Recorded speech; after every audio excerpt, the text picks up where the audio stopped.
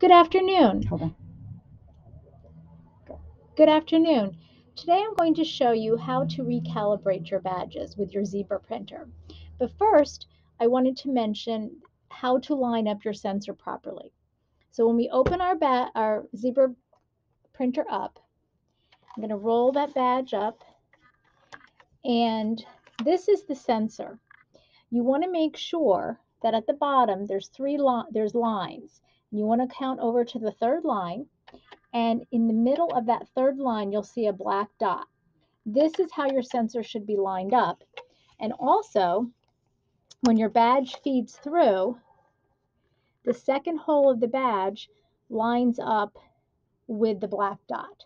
So then you know your sensor is um, positioned correctly. So I'm going to close this. And when I click on the left button, it advances the badge forward. So now I'm ready to print properly. If you're having trouble with your badges feeding pro through properly, you may want to recalibrate. So you recalibrate the machine by holding the first and the, the third button down simultaneously for several seconds.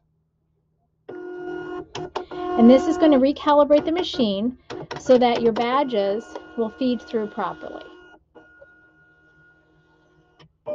Okay, and when that's complete, instead of wasting your badges, you're going to roll them back up, just like this, making sure, again, that nothing disturbed that sensor and it's lined up properly.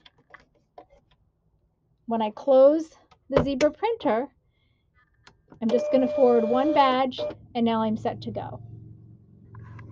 Thank you.